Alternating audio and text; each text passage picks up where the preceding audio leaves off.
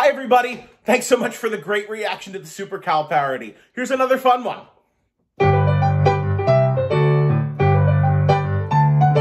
Another day and stuck at home like a hibernating bear. I'm wallowing in boredom and reusing underwear. But then I get this great idea, a way to beat the COVID blues. I'll watch a show on Netflix that's got all the best reviews. I'll let the algorithm do its thing.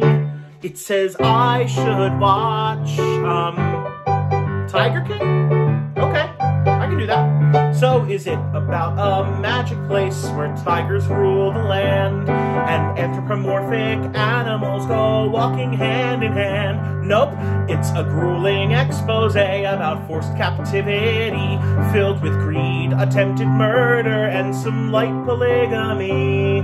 These people really shouldn't have offspring.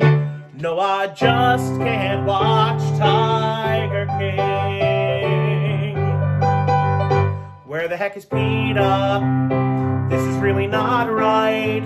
I think I'm gonna say it. Worse than Twilight. Now Miss Baskin has a lawsuit she can bring. But Joe Exotic's quick in hiring. An assassin who would kill for anything. That's what happens in Tiger King. No, seriously, that's the whole plot of Tiger King. Why, oh, why did I watch?